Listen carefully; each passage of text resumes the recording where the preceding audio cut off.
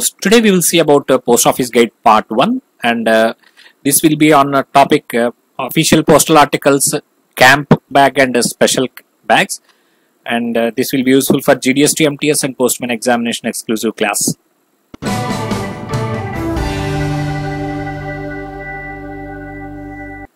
Already గతంలో మనము ఈ organisation type of post offices business ఈ సిలబస్ ప్రకారం అంతా కూడా చూసాము దానిలో మనం ఇప్పుడు అఫీషియల్ పోస్టల్ ఆర్టికల్స్ గురించి చూద్దామండి.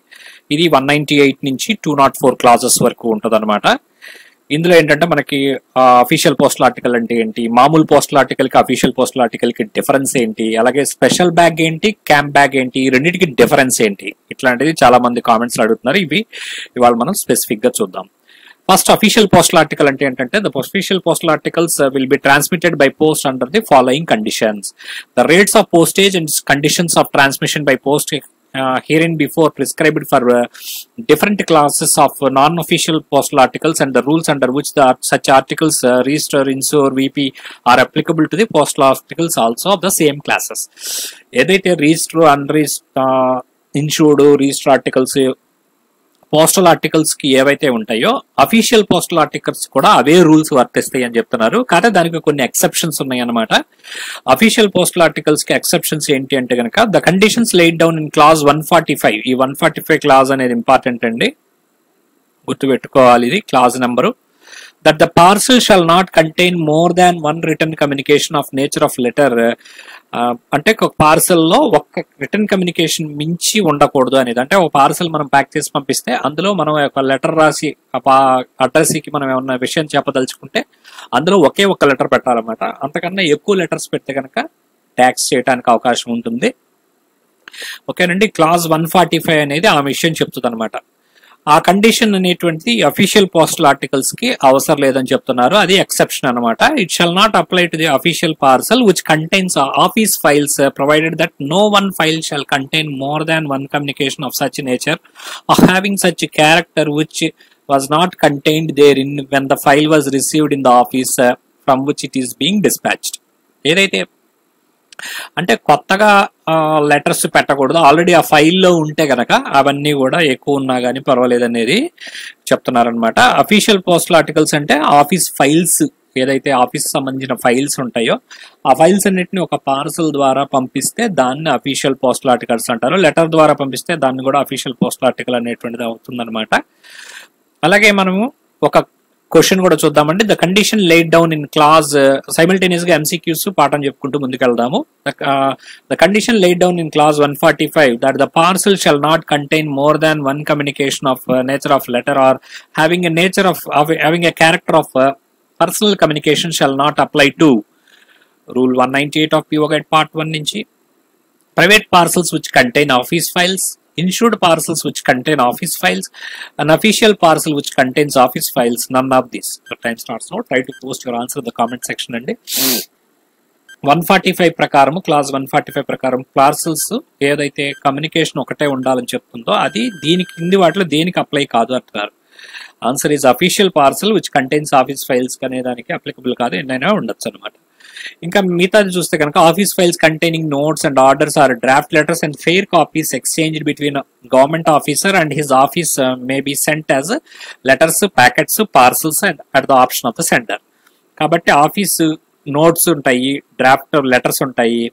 అవన్నీ కూడా గవర్నమెంట్ ఆఫీసర్కి సంబంధించినటువంటి ఆఫీస్ ఫైల్స్ని లెటర్స్ రూపేనా ప్యాకెట్స్ రూపేనా పార్సల్స్ రూపేనా కూడా ఎట్లా కావాలని అట్లా పంపించుకోవచ్చు అని చెప్తున్నారు. Official postal articles whether postage is prepaid or not must bear superscription on India government service when posted by government officials authorised to use service postage stamps or on service when posted by all authorised to use the service postage stamps ఇవి ఎవరైతే official postal ఆర్టికల్స్కి normal postal ఆర్టికల్స్కి తేడా ఏంటంటే official postal ఆర్టికల్స్కి ఒక superscription ఉండాలి. అంటే ఒక హెడ్డింగ్ ఉండాలి. ఏమని? On government of India service on IGS అని కానీ ఆన్ ఇండియా గవర్నమెంట్ సర్వీస్ అనమాట ఐజీఎస్ అంటే. అలాగే గవర్నమెంట్ అఫీషియల్స్ ఎవరైతే పోస్ట్ చేస్తారో ఆన్ సర్వీస్ అని కానీ ఉండాలన్నమాట. గవర్నమెంట్ అఫీషియల్స్ పోస్ట్ చేస్తే ఆన్ ఐజీఎస్ అనేటువంటిది ఉండాలి. అదే కనుక సర్వీస్ పోస్ట్ చేసే వాళ్ళు మిగతా వాళ్ళు ఆథరైజ్ చేసిన వాళ్ళు అయితే కనుక సర్వీస్ పోస్టేజ్ స్టాంప్స్ అనేటువంటిది వాడుకోవచ్చు అనమాట ఆన్ సర్వీస్ అని రాస్తారు. The superscription must be supported by the signature and official designation to be entered in the lower left hand corner other article of the officer who sends the article or the head clerk or the superintendent of office or the responsible officer to whom the duty of dispatching is assigned. Government ఆఫీసెస్లో ఎవరైతే service postage stamps use చేయడానికి authorise ఉంటారో జనరల్గా government offices ఉంటాయి. State government కూడా ఉంటుంది.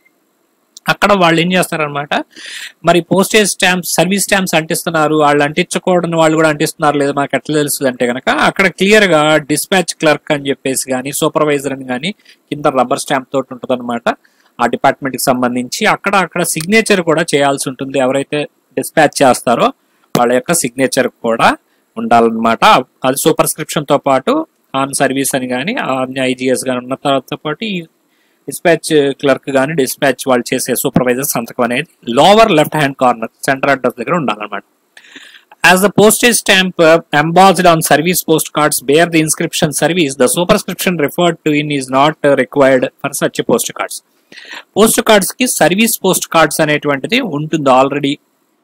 కొన్ని service post cards కూడా print చేస్తారు. అలా ఉన్నప్పుడు సర్వీస్ అనేటువంటి ఇన్స్క్రిప్షన్ ఆల్రెడీ ఉంటే కనుక అవసరం లేదనేటువంటిది చెప్తున్నారు. అలాగే post masters may recognise abbreviated designations provided they are generally known but no official can claim the recognition of an abbreviation the rule being the designation being entered in full ఇక్కడ main ఏంటంటే RMP అనో ఏదో ఏదో ఒక letters పొడి letters రాసి డెసిగ్నేషన్కి పంపించకూడదు అనమాట క్లియర్గా అడ్రస్ అది తెలిసినవి అయితే ఇప్పుడు టు ద డిస్ట్రిక్ట్ కలెక్టర్ అని టు ద డిస్ట్రిక్ట్ మేనేజర్ అని కానీ మ్యాజిస్ట్రేట్ అని కానీ డిఎం అని అట్లా కొన్ని మనకి డైరెక్ట్గా తెలిసినవి అయితే పర్లేదు కానీ తెలియనివి మట్టికి వాళ్ళు క్లెయిమ్ చేయడానికి లేదు మా అందరికీ తెలిసిందే కదా అని రికగ్నైజ్ చేయండి అని అంటే కుదరదు అనమాట వాళ్ళు క్లియర్గా రాయాల్సి ఉంటుంది.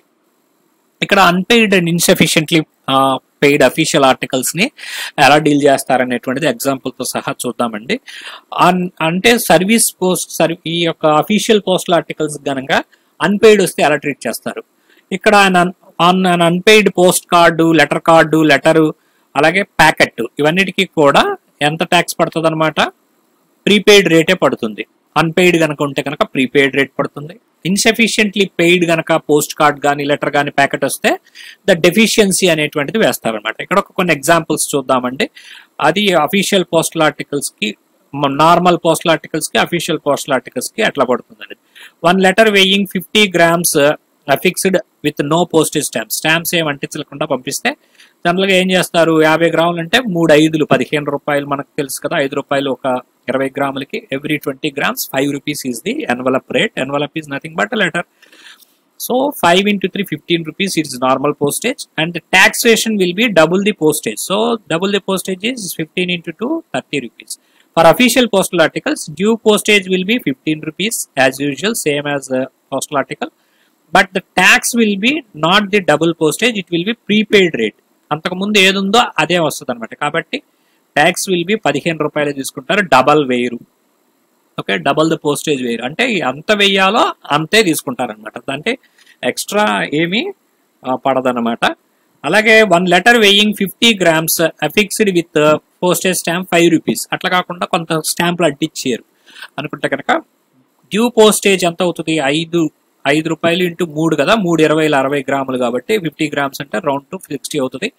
ఫిఫ్టీన్ రూపీస్ పడుతుంది. ఎఫిక్స్ చేసినంత ఐదు రూపాయలు. డిఫరెన్స్ ఎంత వచ్చిందండి? ఈ రెండింటికి డిఫరెన్స్ మనకి పది రూపాయలు డిఫరెన్స్ వచ్చింది.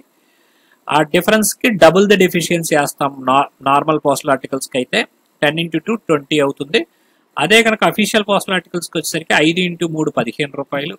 ఎఫిక్స్ ఐదు రూపాయలు డిఫరెన్స్ పది రూపాయలు. డిఫరెన్స్కి సింగిల్ డెఫిషియన్సీ వేస్తారు. Sorry ten into one ten rupees అవుతుంది అనమాట అలాగే ఒక letter weighing twenty grams affixed with no stamp అయితే కనుక ఫైవ్ రూపీస్ అవుతుంది. డబుల్ ద పోస్టేజ్ అంటే టెన్ అవుతుంది. అదే కనుక అఫీషియల్ పోస్టల్ ఆర్టికల్స్కి ఫైవ్ రూపీసే అవుతుంది ఇది? సారీ ఇది ఫైవ్ రూపీస్ అవుతుంది. ఇది వాళ్ళు కూడా కట్టాల్సింది కూడా ప్రీపెయిడ్ రేటే కాబట్టి ఫైవ్ రూపీస్ అనమాట అదే letter weighing twenty grams affix with postage stamps రెండు రూపాయలు అంటే ఇచ్చారు. చెప్పండి మీరు కామెంట్స్లో ఎంత అవుతుందో. ఫైవ్ కాబట్టి రెండు అంటే ఇచ్చారు కాబట్టి మూడు రూపాయలు. డబుల్ ద డెఫిషియన్సీ కాబట్టి three into two six rupees అవుతుంది ఇక్కడ. అలాగే ఇక్కడ మీకు ఫైవ్ మైనస్ టూ త్రీ అవుతుంది. త్రీనే కడితే సరిపోతుంది అనమాట ఇది ఈ యొక్క అన్పెయిడ్ గురించి అనమాట పోస్టల్ ఆర్టికల్కి అఫీషియల్ పోస్టల్ ఆర్టికల్కి డిఫరెన్స్ ఏంటో మీకు ఇప్పుడు అర్థమైంది అనుకుంటాను. Official postal article postal articles అంటే ఎవరైనా పంపించవచ్చు అఫీషియల్ పోస్టల్ ఆర్టికల్స్ అంటే వారు సర్వీస్ స్టాంప్స్ ఎవరైతే వాడగలరో ఆ డెసిగ్నేటెడ్ గవర్నమెంట్ అఫీషియల్స్ కానీ ఆథరైజ్డ్ పర్సన్స్ మాత్రమే వాడగలరు. దానికి లెఫ్ట్ సైడ్ కింద డెసిగ్నేషన్ స్టాంప్ సిగ్నేచర్ కూడా ఉంటుంది. అన్పెయిడ్ వస్తే కనుక ఇలా డబుల్ ది డెఫిషియన్సీ వేయకుండా సింగిల్ ది డెఫిషియన్సీ వేస్తారనమాట ఇది డిఫరెన్స్ మేజర్గా.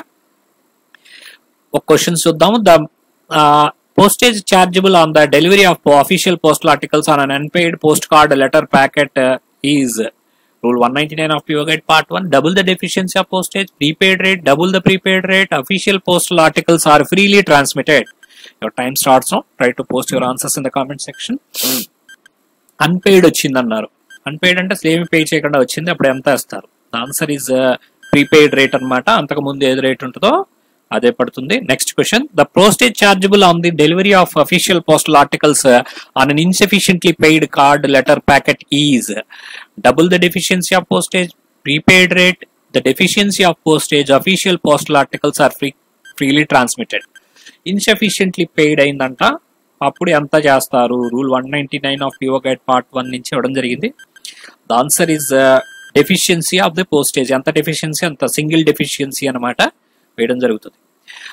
ఇక్కడ మనం ఆల్రెడీ ఇది ఈ వన్ నైన్ కవర్ చేసాము అలాగే in cases where there it is it is not thought advisable to entrust postage stamps to a subordinate official who has to correspondence with correspondence with or to send returns to a superior he may be allowed by his superior to post himself official articles other than parcels without prepaying the postage.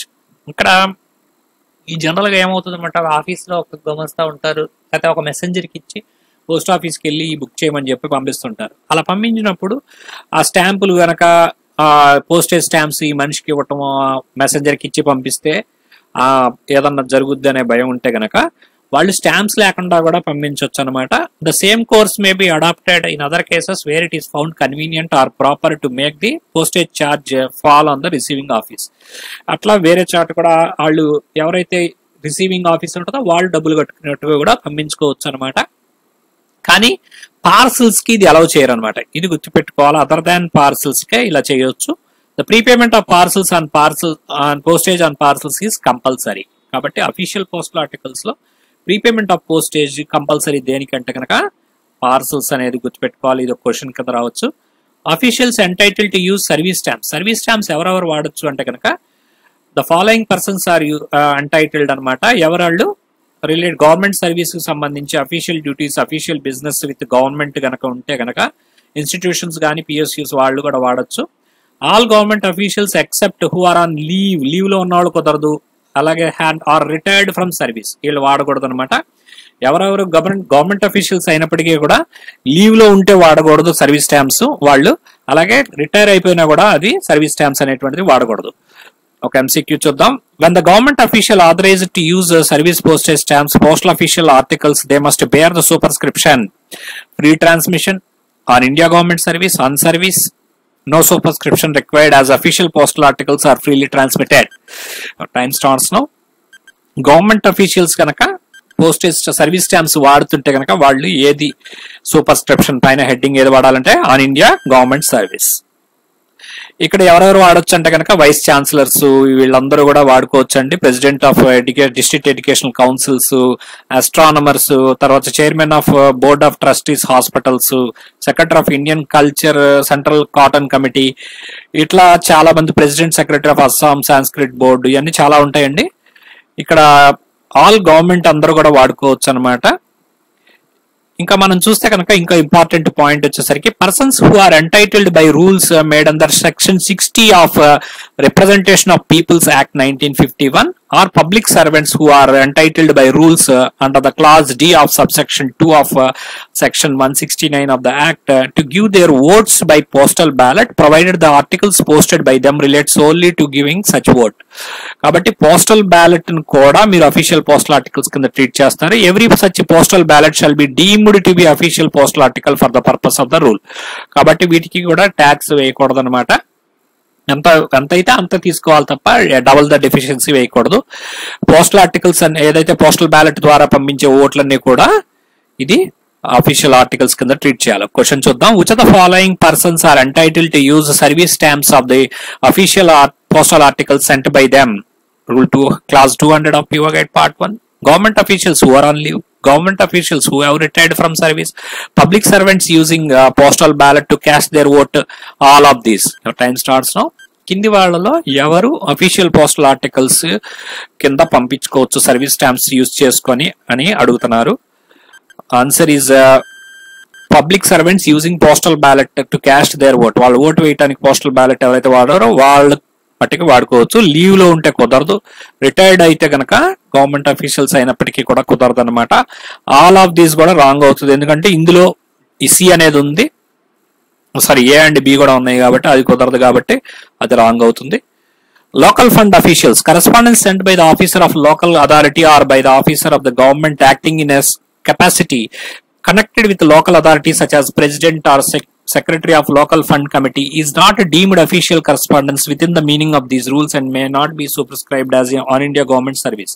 ఈ local fund officials ఈ యొక్క service stamps కానీ ఇలా on official on India government service వాడటానికి లేదంట but nothing in this clause is held to prevent the transmission of on India government service of correspondence sent by the officer of the government uh, acting as such, uh, although the correspondence may relate to the affairs of the local authority.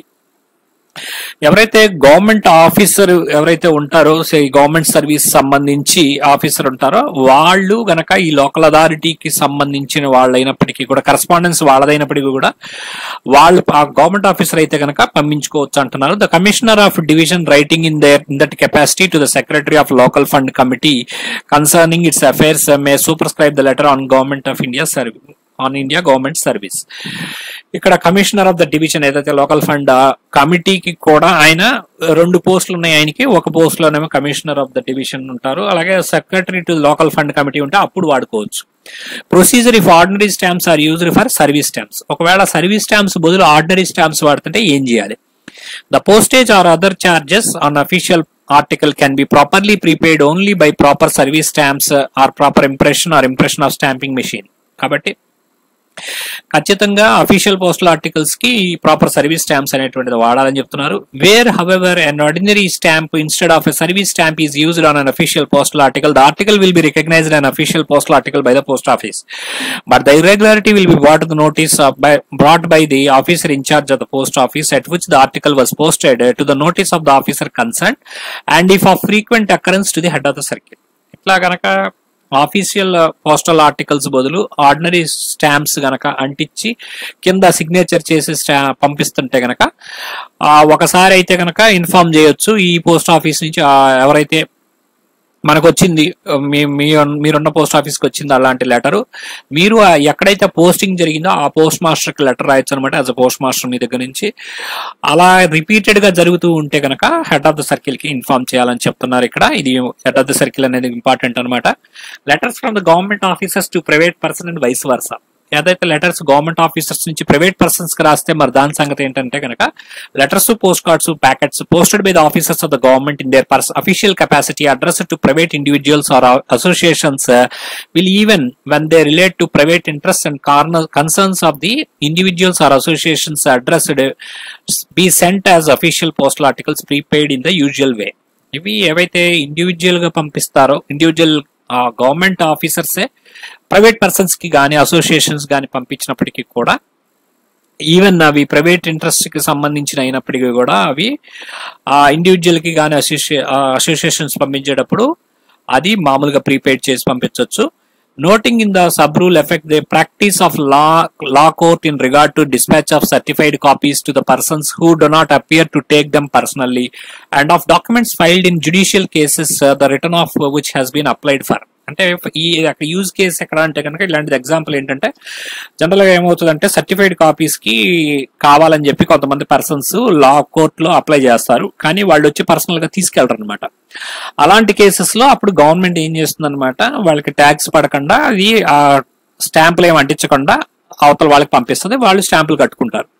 The dispatch of packets books containing books or publications purchases from the government government దగ్గర కూడా కొన్ని books ఉంటాయి. ఆ publications కానీ ఆ books కానీ government books అమ్మేటప్పుడు కూడా ఇలా అన్పెయిడ్ డేస్ పంపిస్తారన్నమాట సర్వీస్ స్టాంప్స్. అక్కడ వసూలు చేస్తారు.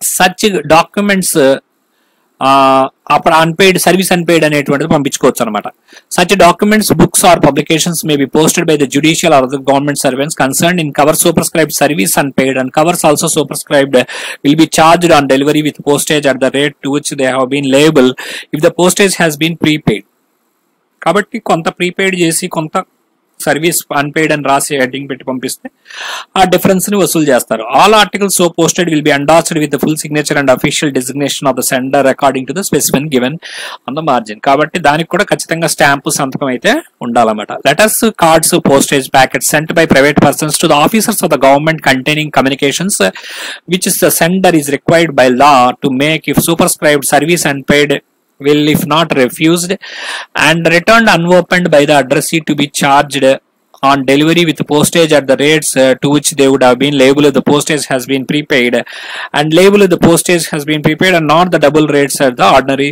articles అంటే ప్రైవేట్ పర్సన్స్ కొంతమంది గవర్నమెంట్ ఆఫీసర్స్కి కలెక్టర్ కానీ సూపరింట్ ఆఫ్ పోలీస్ కానీ కొన్ని కంప్లైంట్స్ కానీ ఏదైనా లెటర్స్ కానీ పంపిస్తుంటారు.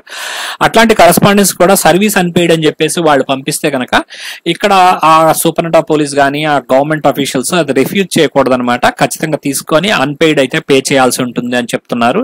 అలాంటప్పుడు ఆ డబుల్ ద రేట్స్ వేరు ఓన్లీ సింగిల్ రేట్ అనేటువంటిది వేస్తారు అది గవర్నమెంట్ కట్టుకోవాల్సి ఉంటుంది అనమాట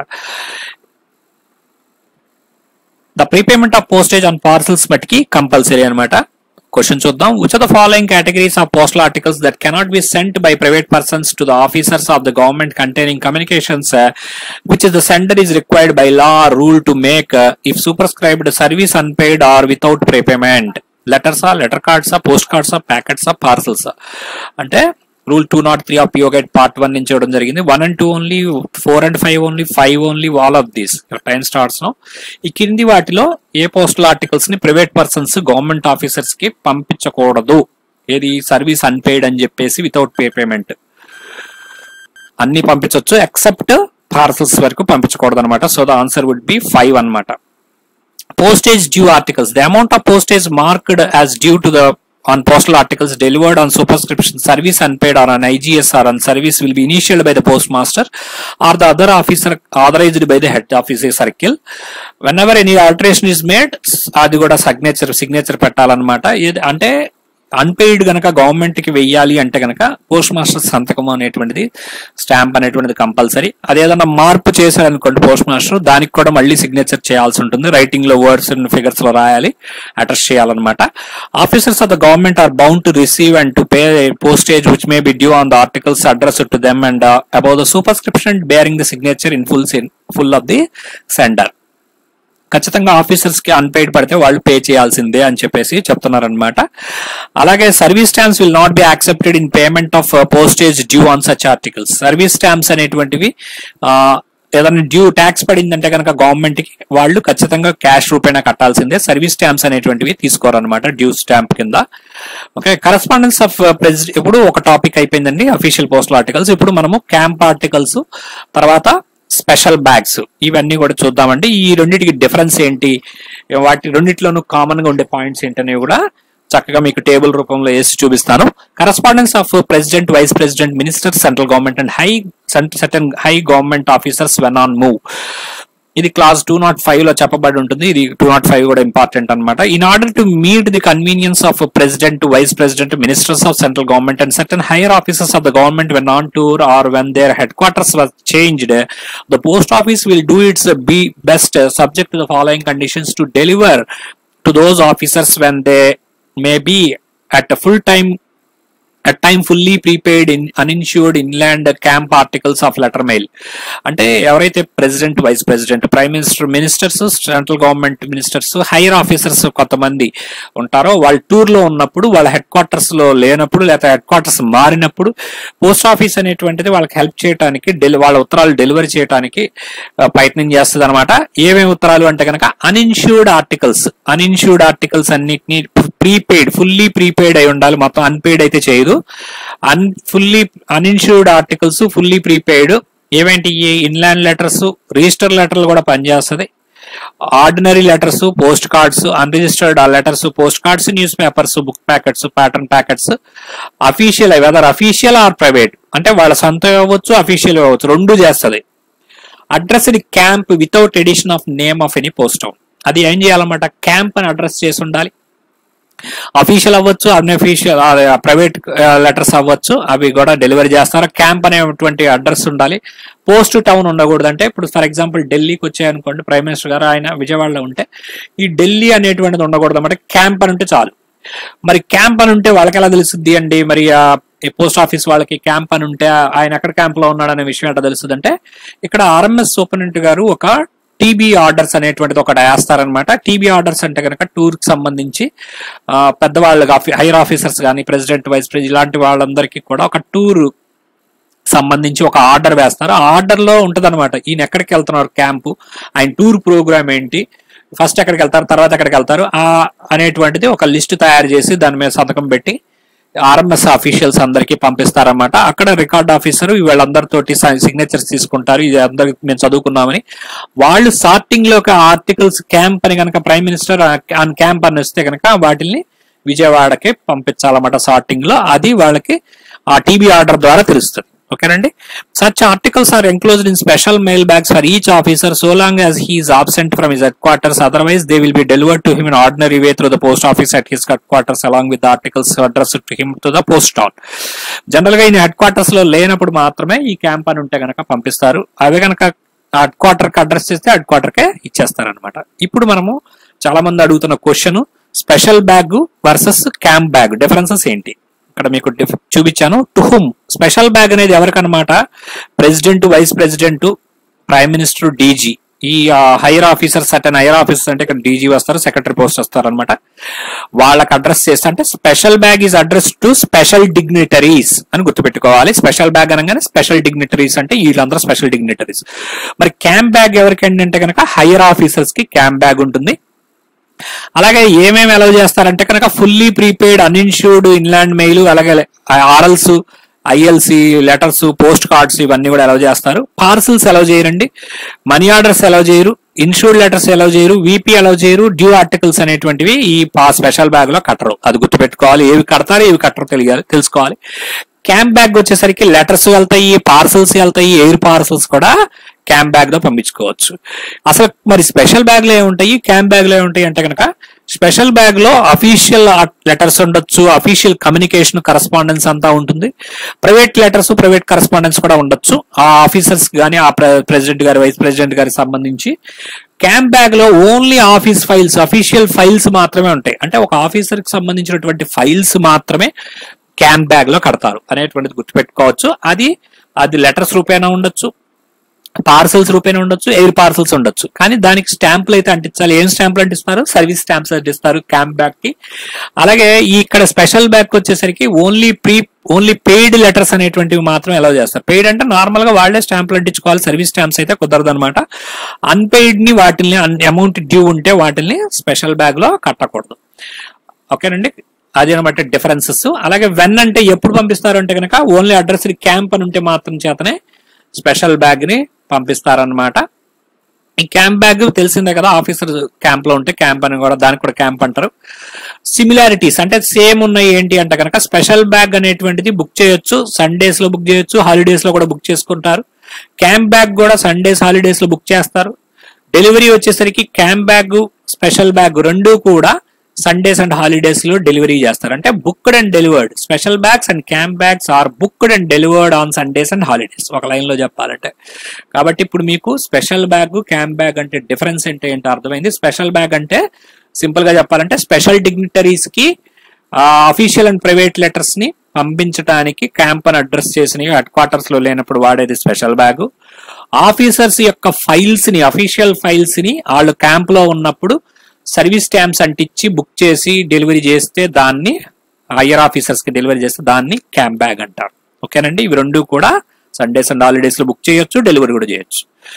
ఒక క్వశ్చన్ చూద్దాం. Which are the following statements is correct with reference to acceptance in payment of postage due on postal articles delivered under superscription of service and paid or ఆయన IGS or on service Rule 2 not for, clause 2 not 4 of PO Guide Part 1, cash will not be accepted. Service stamps will only be accepted. Either cash or service stamps will be accepted. Service stamps will not be accepted.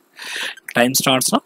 ఇక్కడ postage due అనేటువంటిది కొన్ని articles public నుంచి పో- దీనికి కానీ లేకపోతే వీళ్ళకి కానీ వెళ్తాయి కదా. సర్వీస్ అన్పెయిడ్ కానీ ఇండియా గవర్నమెంట్ సర్వీస్ అని కానీ ఆన్ సర్వీస్ పంపించినప్పుడు ఈ కింది వాటిలో ఏది కరెక్ట్ అనమాట ఏదది? Service stamps will not be accepted. Service stamps అనేటువంటివి అన్పెయిడ్ పడితే తీసుకోరు అనమాట నెక్స్ట్ క్వశ్చన్ పోస్టేజ్ డ్యూ కి who will initial the amount of postage marked as due on the postal articles delivered under super superscriptions of service unpaid or on India government service or on service దీనికి ఎవరు initial వేస్తారు? Service స్టాంప్స్కి కనుక due due పడితే అంటే delivery PI postmaster Mir fixing due stamp is enough due stamp కొడితే చాలా.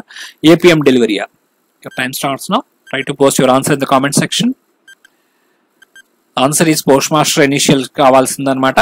The register list is placed in every special bag and in its and in it are delivered with special registered list register articles in the enclosed bag register articles కూడా ఈ special బ్యాగ్లో పెట్టచ్చు list వేయాలి. Register article should be tallied with the register list తోటి tally చేసుకోవాలి. And the list should be sign in token of receipt of registered articles detailed in it and and be returned with empty bag to the postal official delivering the mail ఈ యొక్క bag వస్తే ఆ bag ఎవరు చే- ఏం చేయాలన్నమాట? Post office ఆఫీషియల్స్కి bag ఇచ్చేసేయాలి వెనక్కి. ఓకే అది గుర్తుపెట్టుకోవాలి. ఎంటీ బ్యాగ్ ఏం చేస్తారని కూడా క్వశ్చన్ అయ్యొచ్చు అది పోస్ట్ ఆఫీషియల్కి రిటర్న్ చేయాలి. Special bags will be delivered on all days including Sundays and holidays okay అది చూసాం కదా? Only those articles which have been addressed to camp of an officer can be included in special bag for for that officer and the post office cannot undertake to discriminate between the official and private articles or between articles addressed by name and art and those addressed by designation with a view to enclosed one class of articles in special bag and dispatch other to the headquarters of the officer concerned ఇక్కడ ఏంటంటే కొంతమంది higher officers ఏమంటారంటే నా camp bag పంపించండి కానీ special బ్యాగ్లో మట్టికి only నాకు అఫీషియల్ కరస్పాండెన్స్ పంపండి ప్రైవేట్ ఆర్టికల్స్ అన్నిటిని నా హెడ్ క్వార్టర్ ఢిల్లీకి పంపించండి అంటుంటారు అలా అలాగే లేకపోతే కొంతమంది అంటారు ఆ, నాకు బై నేమ్ వచ్చిన ఈ మట్టికి ఆ హెడ్ క్వార్టర్లో ఉంచండి. నా నాకు మామూలుగా అఫీషియల్ అడ్రస్తో వస్తే నాకు డెసిగ్నేషన్ వస్తే నాకు పంపించండి అంటుంటారు. ఇట్లా ఈ డిఫరెన్షియేషన్ అనేటువంటిది మనం పోస్ట్ ఆఫీస్ చేయలేదు అని చెప్తున్నారు. ఏదైనా కానీ క్యాంప్ అని ఉంటే అది బై నేమ్ వచ్చినా లేకపోతే డెసిగ్నేషన్తో వచ్చినా లేకపోతే ప్రైవేట్ అయినా అఫీషియల్ అయినా తీసుకొచ్చి క్యాంప్లోనే ఇస్తాం. ఓకే ఆర్టికల్స్ అడ్రస్ ఆ డిఫరెన్స్ మనం చేయలేం. Articles address to post town can be sent only to the post town and no article whether addressed camp or to the post town can be redirected in transit post టౌన్కి address చేసినవి post town కే పంపిస్తారు. Post town అంటే ఢిల్లీ ఆ విజయవాడ ఎక్కడైతే వాళ్ళ head quarters ఉంటుందో ఆ ప్లేస్ని పోస్ట్ టౌన్ అనుకోవచ్చు మీరు. వాళ్ళకి పేరుతోటి అంటే ఊరి పేరుతో వస్తే ఊరి పేరుకే పంపుతారు. క్యాంప్ అని వచ్చింది అనుకోండి క్యాంప్ అని వచ్చినా పోస్ట్ టౌన్తో వచ్చినా కూడా మధ్యలో ట్రాన్సిట్లో రీడైరెక్షన్ చేయండి అదే మేము ఇక్కడికి వచ్చేసామే మీకు తెలియదా మీరు రీడైరెక్షన్ చేయండి అంటే కుదరదు. అది అంతా కూడా టూర్ ప్రోగ్రామ్ ముందే వేయాలి దాన్ని బట్టి కమ్యూనికేషన్ ముందే వెళ్తుంది అనమాట ఆ ట్రాన్సిట్లో ఉండగా రీడైరెక్షన్ అనేటువంటిది కుదరదు అనేటువంటిది గుర్తుపెట్టుకోవాలి. An article which is addressed addressed to the post town nor camp will be sent to the head quarters of the officer concern కొన్ని ఆర్టికల్స్ టౌన్కి ఉండదు క్యాంప్కి ఉండదు. అలాంటివి ఏం చేస్తారు? ఖచ్చితంగా హెడ్ క్వార్టర్ కే పంపిస్తారు. Parcels money orders insured articles VP articles and articles on which and articles on which any charge is due cannot be delivered in special bags special బ్యాగ్స్లో ఏమేమి డెలివరీ చేయరు? పార్సల్స్ డెలివరీ చేయరు money orders delivery చేయరు insured articles delivery చేయరు VP articles delivery చేయరు. Due ఉన్నటువంటివి tax వేసినవి articles కూడా special బ్యాగ్లో ఎవరు అనమాట and should therefore be address to post town. అలాంటివన్నీ కూడా పోస్ట్ టౌన్కి పెడితే అక్కడ వాళ్ళు తీసుకుంటారు. Such articles if address camp or without addition of post town or label to be sent to head quarters సరే అన్ని బాగానే ఉంది. మీ రూల్స్లో రాసుకున్నారు. అయినా వచ్చి ఏం చేయాలి? Parcels money orders insured articles VP articles postage due ఇవన్నీ కూడా క్యాంప్ అని వచ్చాయి. అప్పుడు ఏం చేయాలంటే హెడ్ క్వార్టర్కి రిటర్న్ చేయాలి. ఓకేనండి? నెక్స్ట్ క్వశ్చన్ చూద్దాం. Which are the following bags will be delivered on all days including Sundays and holidays rule two nought five of your guide part one insured bags floral bags travel bags special bags time starts Sundays and హాలిడేస్లో delivery చేసే బ్యాగులు ఏంటి అని అడుగుతున్నారు. The answer ఈ special bags అన్నమాట. Office files and other official papers may also be transmitted ఇప్పుడు ఆ క్యాంప్ బ్యాగ్ అంటే ఏంటో చూద్దాము. Official files and official papers may also be transmitted by post or for the camp of the higher officer to whom the rules also applicable higher officers యొక్క office ఫైల్స్ని పంపిస్తే దాన్ని camp bag అంటారు. Such ఆ files and papers must be enclosed in a bag provided for any in a bag for provided for the sender and may be sent as camp being being booked either pa- either at a parcel or air parcel or letter mail rate అన్నమాట. Parcel కానీ air parcel కానీ letter mail రేట్లో పంపించుకోవచ్చు. Camp bag booked as parcel will be sent by surface route surface route ద్వారా parcel పంపిస్తే surface route ద్వారా పంపిస్తారు. Will be charged with postage payable on parcel weighing ten kg plus registration fee ఇది గుర్తుపెట్టుకోవాలండి. Surface రూట్లో parcel కనుక book చేస్తే ఆ పార్సిల్ పది కేజీలకి ఎంత వెయిట్ అయితే ఉంటుందో అంతా plus registration fee plus incidental charges పదహారు రూపాయలు అనేటువంటిది irrespective of weight of the bag subjective maximum of ten kgs అంటే పది కిలోలకి వెయిట్కి ఎంత అయితే పడుతుందో పార్సల్ అంత రేట్కి వేసి తీసుకుంటారు. అలాగే పదహారు రూపాయలు ఎక్స్ట్రా తీసుకుంటారు. రిజిస్ట్రేషన్ ఫీ కూడా తీసుకుంటారు.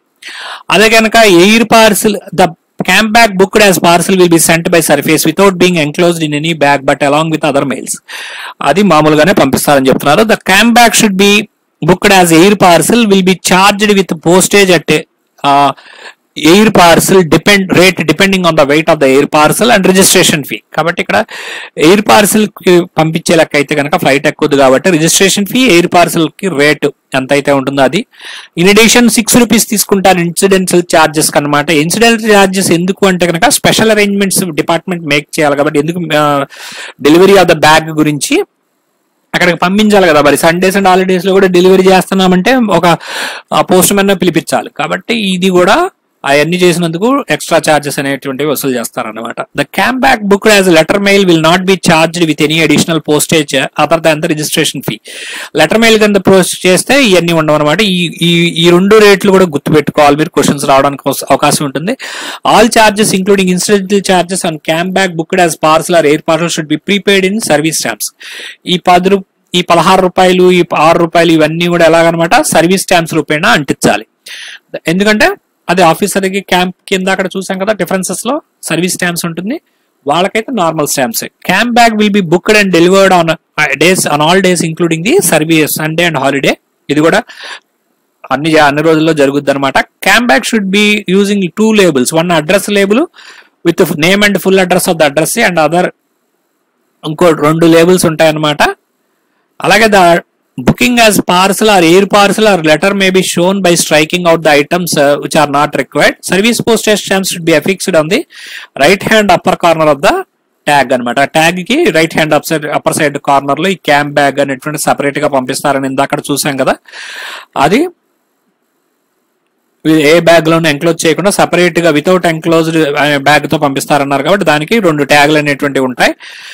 The camp bag will be booked and delivered in all Sundays and holidays ఇది కూడా అదే అనమాట క్వశ్చన్స్ చూద్దాం? Which of the following statements are correct with reference to camp articles an article which is address neither to post town nor camp will be sent to head quarter station of the officer concern the articles address to post town can be sent only to the post town and no article whether address post camp or to the post town can be redirected in transit ట్రాన్సిట్లో redirection కుదరదు అంటున్నారు అలాగే camp కానీ post town గానీ address చే address చేయని articles కూడా head క్వార్టర్స్ పంపిస్తా ఉంటున్నారు. One only true two true both true both wrong clause two nought five of you guide part one your time starts now ఏది కరెక్ట్ అని అడుగుతున్నారు? So the following statements are correct answer is both are correct అనమాట camp కానీ post town కానీ address చేయని articles అన్ని హెడ్ క్వార్టర్స్కి పంపిస్తారు.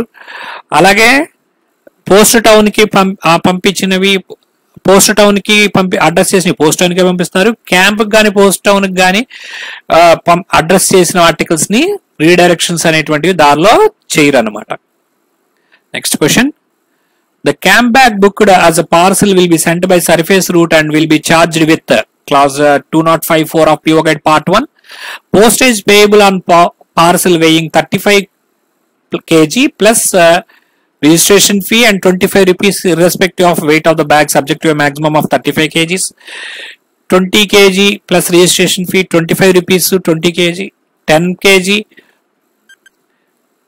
16 rupees 20 kg 16 rupees try to post your answer in the comment section surface route లో పార్సల్ వెళ్తే 10 kg uh, postage payable on parcel weighing 10 kg plus registration fee incidental charges 16 rupees uh, subject to a maximum weight of 10 kg anamata next question. The cam bag booked as air parcel will be charged with clause uh, 2054 of PO guide part 1 postage of air parcel depending on the weight plus registration fees incidental charges 25 10 6 50 answer is six rupees అనమాట incidental charges. Air fare parcel కూడా తీసుకుంటారు. Next question which are the following will be will show whether the routing of all camp articles through post and closing of special bags containing such camp articles is desired or conveyance of camp bags from secretariat to higher officer in camp and vice versa are required డ్యూమే list tour programme sorting list officers camp list clause two nought five of PO guide part one post office guide part one అనేటువంటి దాంట్లో మీకు ఇరవై మూడు questions వస్తాయి అనమాట including the production services ఎంటీఎస్కి. ఇది tour programme అనమాట టూర్ ప్రోగ్రామ్ ద్వారా ఈ క్యాంప్ బ్యాగ్స్ ఎక్కడి నుంచి ఎక్కడికి వెళ్ళాలనేటువంటిది మనకి తెలియటం జరుగుతుంది. సో మనం ఈ ఈ వీడియోలో మనము పోస్ట్ అఫీషియల్ పోస్టల్ ఆర్టికల్స్ అంటే ఏంటి వాటి యొక్క మామూలు పోస్టల్ ఆర్టికల్స్ డిఫరెన్స్ ఏంటి అలాగే ఈ యొక్క క్యాంప్ బ్యాగ్ అంటే ఏంటి స్పెషల్ బ్యాగ్ అంటే ఏంటి ఈ అనేటువంటిది కూడా మనం తెలుసుకున్నాము. మీకు ఏమైనా డౌట్ ఉంటే ఒకసారి మళ్ళీ ఒకసారి చూస్తే స్లోగా మీకు అర్థం అవుతుంది అనమాట ఎనీ క్వశ్చన్స్ ఉంటే కామెంట్స్లో చెప్పండి. Subscribe to career